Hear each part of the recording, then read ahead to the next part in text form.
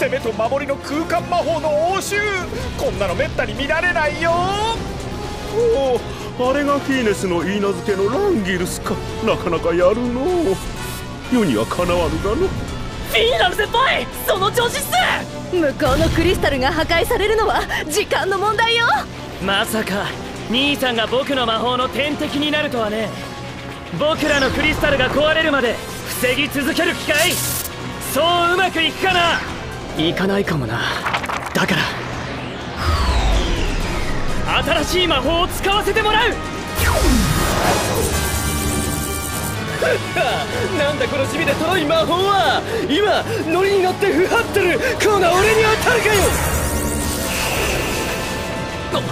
ホーミング？こんなもの俺の鉄壁の魔法。石鹸マグナムキャノンボールには効かないぜ。消えた 我ながら情けないよ。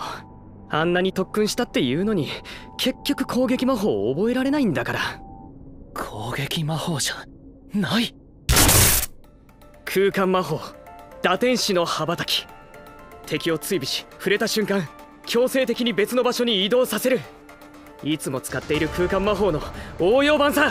おおこの魔法なら敵を傷つけることなく確実に戦いから排除できる。彼はおそらく優しい心の持ち主なんだね。フィンラル先輩すげえっす。ででもあの人どこに行っちゃったんでしょうか？